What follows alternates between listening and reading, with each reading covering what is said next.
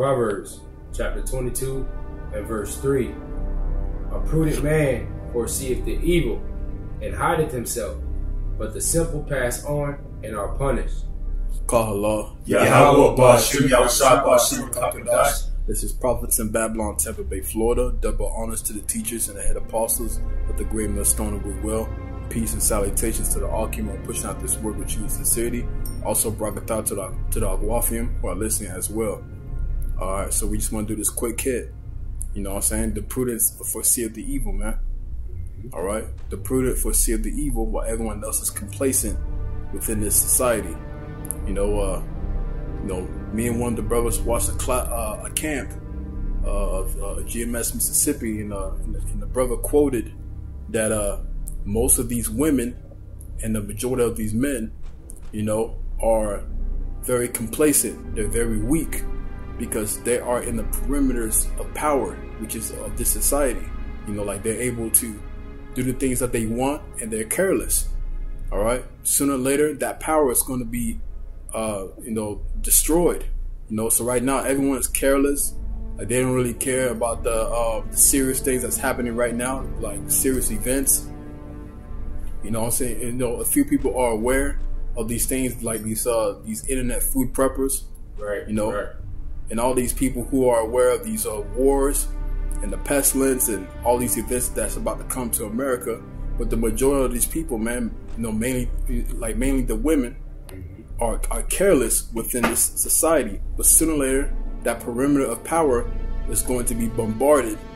You know, when the uh, when the society uh, depletes and like uh, and the inflation continues to goes up. You know what I'm saying? And then the whole, and, and then this place will become lawless. Right. And if, if uh so like if I may add, like the brother was saying, you know, you have these people over here in Babylon, y'all have gotten, you know, they have gotten very, very complacent. And when you have that complacent spirit, you then tend to you, you're at a comfortable level of what it is. And everybody here has gotten so comfortable with living in Babylon to a point where the things that's going on around them, they don't even pay attention to it. They don't even know what it is. All right, they they seeing, you know, we're hearing of the uproars, okay, the pestilence, the famines, the uh, rumors of wars, all right, earthquakes in diver, uh, diverse places, like the scriptures say, that the people can discern the uh, the moon, the stars in the moon, but they can't discern the times we're in. That's why, because you're in that complacent spirit. You see? Go ahead. Come on, actually, I got a precept on what the brother was talking about, people being in a careless mindset. All right. It's the book of Isaiah, chapter 32 and verse 9. Rise up, ye women that are at ease. Hear my voice, ye careless daughters. Give ear unto my speech. Many days and years shall ye be troubled, ye careless women. For the vintage shall fail, the gathering shall not come. Right. So you know that's the mind state that these women are in. You know, and it, it, it's talking about women a lot. You know, in this you know paragraph, it talks about you know careless daughters. All right, it says to give ear unto my speech. So all the rebellious people, you know, that's not listening to the words of the heavenly Father, you know, you're going to be caught off off guard in the times we're coming in, man. You know, all the troubles that the, the other brother just brought out, you know, of the pestilence, the wars, the rumors of wars, you know, the uproars of the people. All these times, the times that we're coming in, we're at the beginning of the end, you know, and the end is being made manifest every single day. So as it's getting worse and worse, the evils are growing and becoming worse, man. You know, and Jacob's trouble. You know, these people are going to be in a rude awakening. They're going to be caught in the middle of Jacob's trouble, man. You know, Yeah. because they don't know what time we're in, man. When you get caught up, you know, when it's like all hell breaking loose and there's no, you know, comfort at all. The stores are closed. There's no more jobs and work. All right, because the men created this society for you women to be careless, man. Yeah. All right, and now that you know, now the men, you know, are being effeminate. All right, and they're not able to uphold this, you know, this uh this system no more. You know, the system is gonna fall, man, because the two thirds of our people are the ones that are keeping this system running, man, because they want to follow behind who Esau, Edom. Yeah. All right. You know, as we are doing, you know, things working just to what? To just stay alive, basically to do the will of the Heavenly Father. That's what we're here for. You know, the one third, you know, which is the ones that believe on this word and take heed. You know, we're going to be doing things that's pleasing to the Heavenly Father, but we're just here for a moment, man. We're ready to enter into the kingdom. So that's why we prophesy the downfall of this place. While all the other people that are joining on to this place, they're gonna be thrust through, you know, by all the, the, the all the destruction that's coming to this place, man. That's right, You know, but I want to continue with verse eleven. Go Real ahead. quick, it says, "Tremble, ye care, Shalaka, tremble, ye women that are at ease, be troubled, ye careless ones." Strip you and make you bare, Mm. and gird sackcloth upon your loins. You know, in the ancient times, that you know, when you do those things, that's in a mourning state. So in the times we're coming in, you women are going to be in a mourning state. And how much more you men that follow after the women, man? You know, you're lower than a woman, man. It out. Women rule over us, you know, in this society. But the ones in this truth, you know, we understand the order. Okay, so we follow behind Yahweh Shah, you know, because Yahweh Shah is the way, the truth, and the life.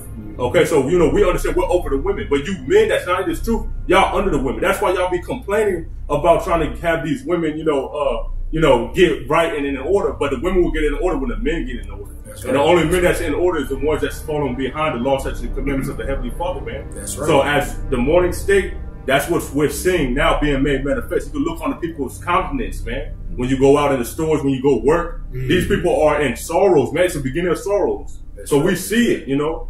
Come on, man. That's right. You got a piece up? Go ahead. Break This it. Mike, this the book of Micah two and 10 Mm-hmm. Arise ye and depart, for this is not your rest, because it is polluted. It shall destroy you, even with a sword destruction. Right. It said, Arise ye and depart, for this is not your rest. And how are you going to arise and depart from this place? That don't mean pack up all your excuse me, that don't mean pack up all your shit, get on the nearest train or the or the next flight out and be gone. That means you gotta leave this place mentally, man. Scripture tells you flee out of the midst of Babylon. How do you flee out of the midst of Babylon? Do be done away with her iniquities. Be done away with her transgressions. Be done away with this complacent ass hell uh, uh, and captivity that we are living in, man. You see, Jake gets so Jake has gotten so complacent. Just a quick testimony. I had to go do a couple hours or so for for for, for work or whatever, and uh, the lady in there, the Jake lady in there, she's so complacent to a point that she feels good saying that she don't care what the Lord looks like.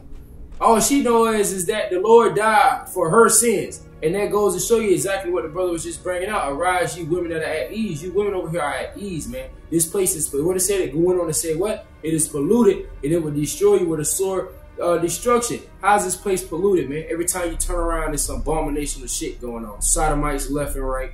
All right. You have sleazy E with this, with these uh, unright, unrighteous decrees. You have Eve out here doing whatever, being harlots. Okay, Scripture say that there shall be no harlots amongst uh, the daughters of, uh, Zion, and no sodomites amongst the sons of uh, of Israel. But that's completely different here, man. Why? Because e, Sleazy E has allowed all of these people here to be complacent and let them be however they want to be, man. They got this whole, you know, God loves you, come as you are type spirit. Nah, man, that shit gonna get you fucking destroyed, man. You see? Go Somebody another precept? You get in and on um, the high time to wake up to sleep because we got to know what time we're in, man. God. You know, and all you people that's in a careless mind state, all you people that are very comfortable in this society, all right, you're gonna see this place fall, and you're not gonna be able to stand in the times that we're coming in, man. um, All right, this is the book of Romans, chapter 13 and verse 11. And it reads and it says, And that, knowing the time, that now it is high time to awake out of sleep. Come For now is our. Go ahead. and it says knowing the time. And it says Mhm. measure out the time diligently in itself. So the only mm-hmm. ones that's gonna know the time is the prudent man that That's foreseeth the evils, because this is the beginning of the end. So and the end times that we're in is full of evil. Mm-hmm. Okay? Uh, all right, and I'm gonna bring it back from the top. This is Romans 13 and 11. It says, And that knowing the time, that now it is high time to awake out of sleep. For now is our salvation nearer than we believe. Come on, man. So we're seeing, you know, the building stage of the end, okay? And when the end is near, that means salvation is coming, okay? Right. And it's coming for a few, man, because the world, this world was created for many, but the world to come for a few. And we're hoping to be part of that number, man. And the number will be the ones that awoke. You know, they're awoke with this truth. All right, they're awake. You know, they're quickened by the Spirit, and that's that's this word that was preached, you know, to you by men that Yahweh Shemashah set up, man. So if you're able to receive this word, you know, bless your ears that they can hear, man. Bless your ears, man. The Most I blessed you with that, and then your eyes to see, man, seeing the times. That that's a blessing. All right. So we should cherish what we have, you know, and continue in this doctrine. Okay, That's till right. the end. He that endures to the end, the same shall be saved.